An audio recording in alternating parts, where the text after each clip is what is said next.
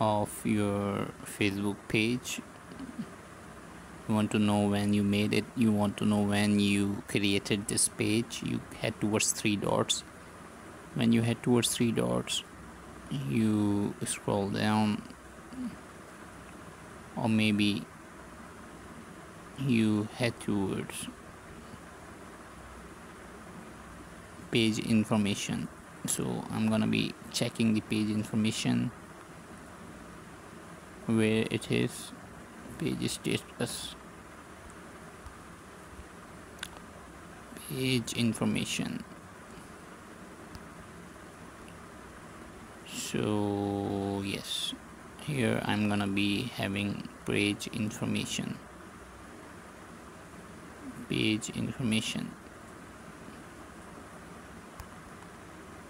So page information page information. Where are you I've been searching for you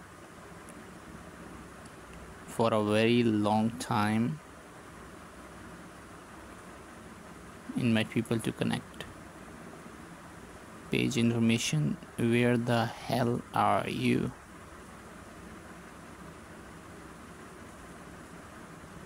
I have seen it just three minutes ago. Now I can't see that and it's very frustrating for me I don't know why I'm not having the option in front of me.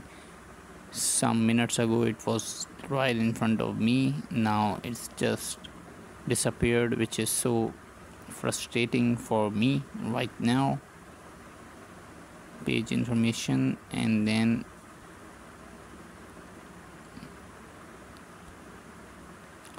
so I'm gonna be edit details and head towards page information.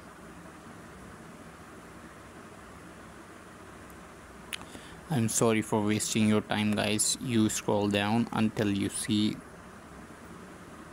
see your about info. So I'm gonna be clicking see your about info. Then I scroll down and down and down until I see the date which is this 15 March 2017 so this was the date when I created this page and I have 72 72k followers on my page.